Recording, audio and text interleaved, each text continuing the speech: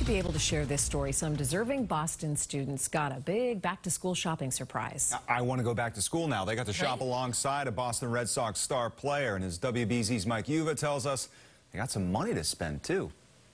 Swinging a high drive into center field. In the past 24 hours, Red Sox outfielder Alex Verdugo has hit two home runs. How's everybody doing? That second one coming this morning when he surprised a group of students with a back-to-school shopping spree. I had a pro camp not too long ago where, you know, kids had to pay and come, and you know that was cool and all. But uh, it, it'd be nicer for me to go and have another event where, you know, it's it's kids come for free. And that's exactly what he did. On Friday, children from the Ron Burton Training Village received a $150 gift card from Dick's Sporting Goods and had the chance to shop with the Sox star. We're already on a platform that, you know, everybody sees us, but.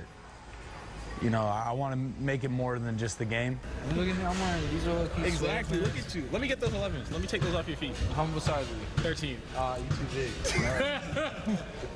Well, there were plenty of happy faces as students bought new shoes and clothes. Perhaps the biggest smile in the room was on Verdugo. They brighten up my world. They make me kind of, you know, go back to the days before when it was all fun. Because this is a business, you know, it gets real stressful. But at the end of the day, it's all about the kids and, and just, you know, how we're leading them in the future. I bought this volleyball. I bought this baseball. I got um, Red Sox shirt in my bag. Even with the Red Sox in the middle of a four-game homestand this weekend against Texas, Verdugo says he wouldn't want it any other way. The lack of sleep, all that stuff, man, it's it's all worth it. And like you said, when you see some of the guys, uh, the kids, their their smiles, the you know them being happy, them get to look around, get you know get stuff that they want, it, it's cool.